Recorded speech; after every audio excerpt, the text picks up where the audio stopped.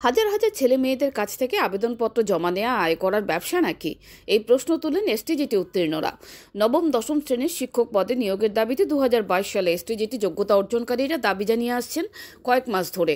তারা উপমুখ্যমন্ত্রী, আবার কখনো শিক্ষামন্ত্রী কিংবা শিক্ষা অধিকর্তার কাছে দাবি জানাচ্ছেন।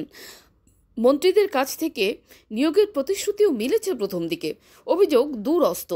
এসটিজিটি নিয়ে একটি মামলাও চলছে হাইকোর্টে। জানা গেছে তার শুনানি শেষ। এ অবস্থায় সেই বিষয়ে দ্রুত নিষ্পত্তির আবেদন জানান তারা। পাশাপাশি সরকারের কাছে দাবি জানান দ্রুত তাদের একসঙ্গে নিয়োগের। বৃহস্পতিবার এসটিজিতে যোগ্যতাকারীরা শিক্ষা ভবনের সামনে এসে ক্ষোভ জানান। পরে এক প্রতিনিধি দল অধিকর্তার সঙ্গে দেখা করে দাবি জানান। পাশাপাশি হুঁশিয়ারি দেন, দাবি পূরণ না হলে আগামী দিনে বৃহত্তর আন্দোলনের। এসটিজিটি দুই হাজার বাইশ পরীক্ষায় উত্তীর্ণ হয়েছি কোয়ালিফাই করেছি।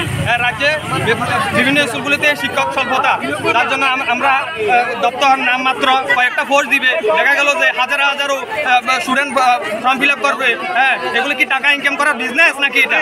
হ্যাঁ?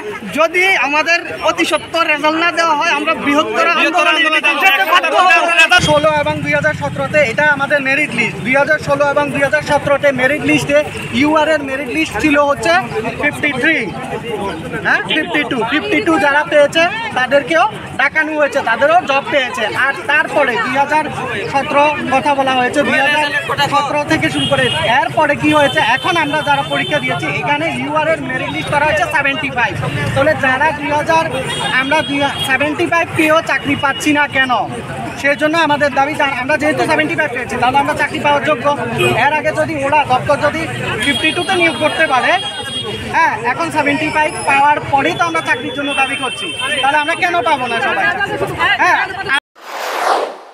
পিওর রিপোর্ট চ্যানেল দিন রাত